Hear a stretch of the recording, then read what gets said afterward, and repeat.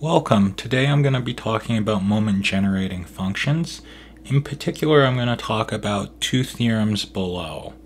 Um, the two theorems being um, this very first one, which is more or less called uniqueness of moment generating functions. And this one, which is two theorems combined. It tells you how to find the distribution of the sum of two or more random variables with scalar multiples.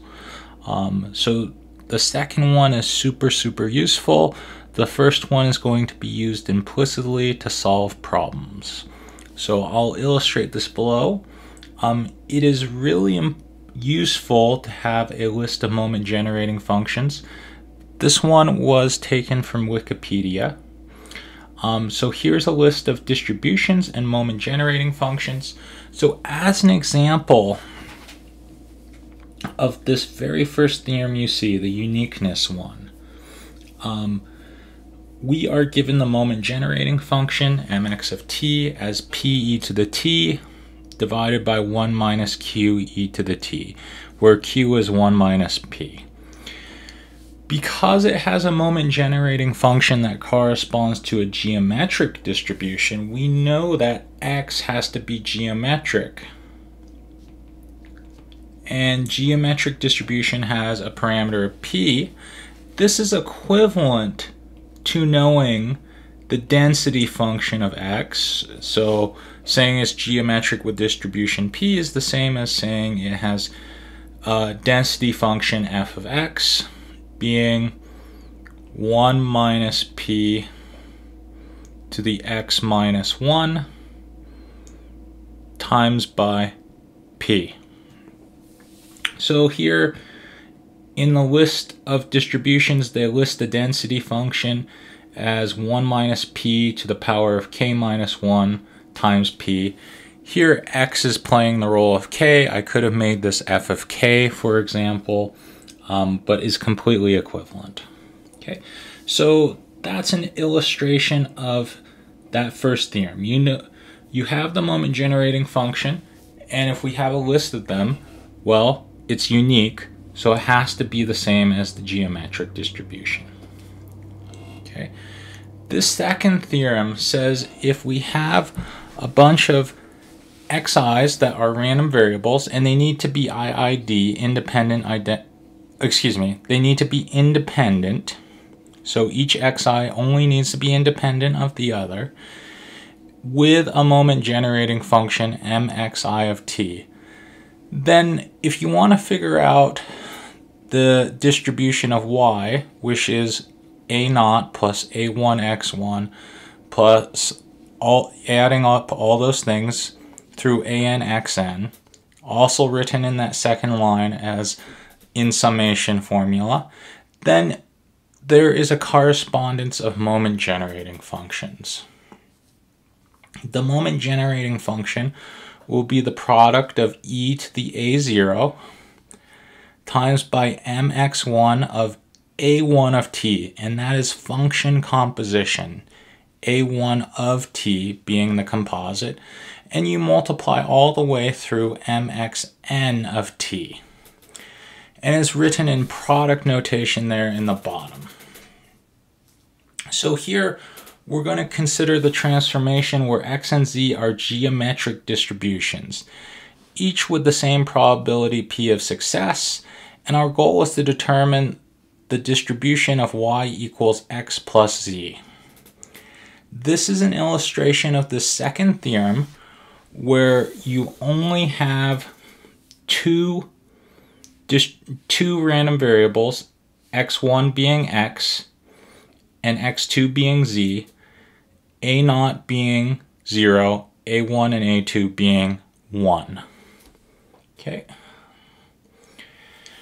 We're going to use this theorem, and this theorem is going to tell us my of t is going to be mx of t multiplied by m sub z of t.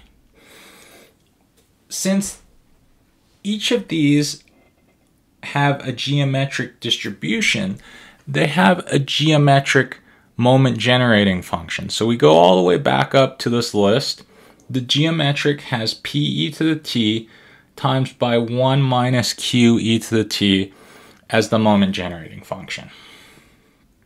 So this will be p e to the t divided by 1 minus q e to the t multiplied by p e to the t divided by 1 minus q e to the t. Okay, now let's simply combine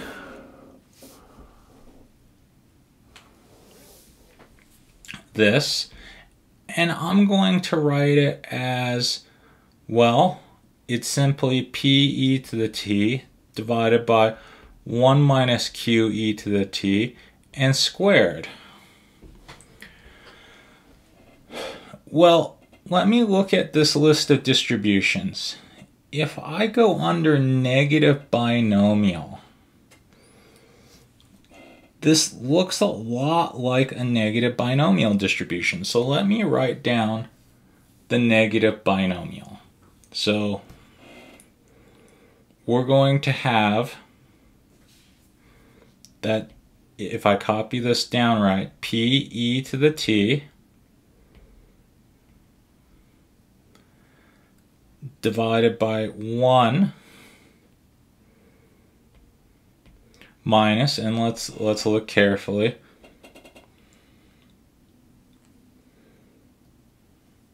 One minus e to the t plus p e to the t raised to the rth power. Okay, and let's just double check.